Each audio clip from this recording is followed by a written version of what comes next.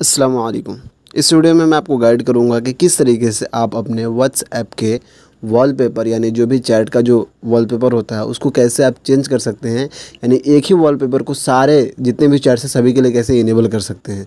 उसी चीज़ के बारे में जो है मैं डिस्कस करने वाला हूँ। चाहे वो ग्रुप हो या चैट हो, सभी में जो है एक जैसा वॉलपेपर लगाना है तो सिंपली इस वीडियो को फॉलो कीजिए।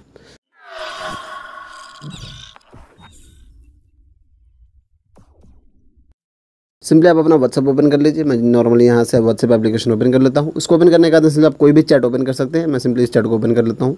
इसको ओपन करने के बाद सिंपली आपको करना क्या है? थ्री डॉट्स पर क्लिक करना है। यहाँ पर आपको नज़र आएगा वॉलपेपर सिंपली आप इसको में क्लिक कीजिए।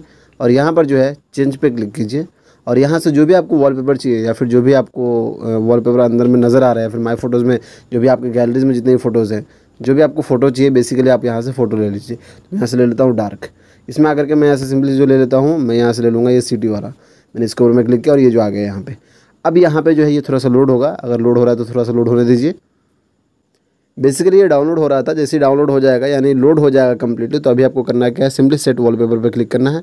यहाँ पे आपसे पूछेगा कि सिर्फ़ आप इस पर्टिकुलर चैट के लिए लगाना चाहते हैं, या फिर for all chats in dark theme जो भी आपका डार्क थीम में, जो भी जितने भी चैट्स हैं, सभी पर लगाना चाहते हैं। तो यहाँ पर क्या होगा कि आप इसके अंदर में जो है, सारे चैट्स पे आप लगा सकते हैं। तो सिंपली फॉर ऑल चैट्स पे क्लिक कर दीजिए और ओके पे क्लिक कर दीजिए। तो ये जो है, सभी चैट्स में जो है इंप्लीमेंट हो जाएगा। मैं यहाँ से बैक कर लेता हूँ बैक कर लेता हूँ।